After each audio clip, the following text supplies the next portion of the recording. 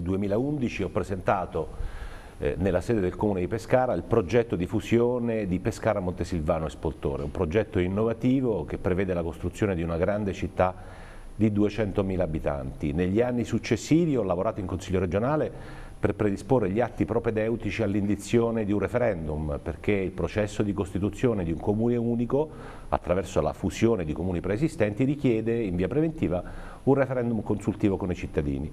Questo referendum è stato disposto dal Consiglio regionale e si è celebrato nel maggio del 2014.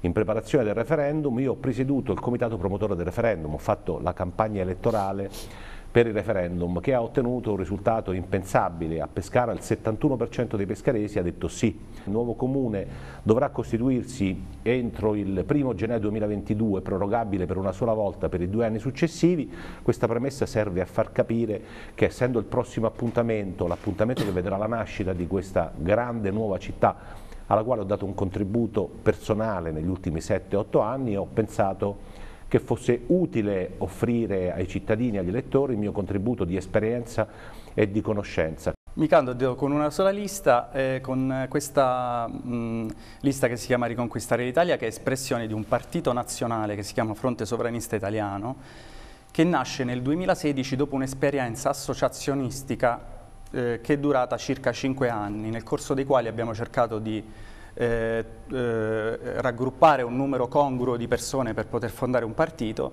eh, che si ponesse come obiettivo quello di riporre di nuovo eh, in cima all'ordinamento eh, nazionale la Costituzione italiana.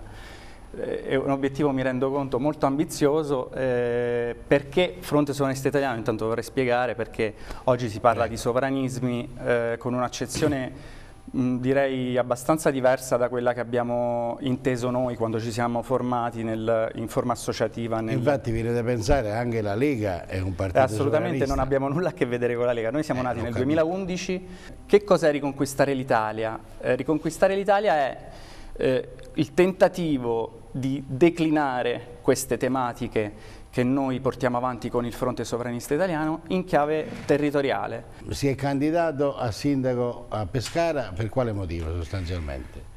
Perché ho una passione per Pescara, perché Pescara in questi ultimi anni l'ho vista ripiegata su se stessa, è una città che sta soffrendo in tutte le sue componenti, c'è un disagio sociale fortissimo, eh, il commercio è in crisi, il turismo è in crisi, è una città che eh, che è totalmente insicura. Pescara era caratterizzata per essere una città sicura dove chiunque poteva passeggiare a qualsiasi ora del giorno e della notte senza avere problemi. E invece oggi in ogni momento della giornata si corre il rischio di avere brutti incontri. Eh, quindi tutte queste cose oggi impongono una scelta chiara su questa città. E, e quindi ci muoviamo in questo senso per far sì che ci sia un rilancio della della Pescara che abbiamo sempre conosciuto, che è nata correndo e che oggi invece è assolutamente frenata eh, da lacci e lacciuoli che noi vogliamo liberare.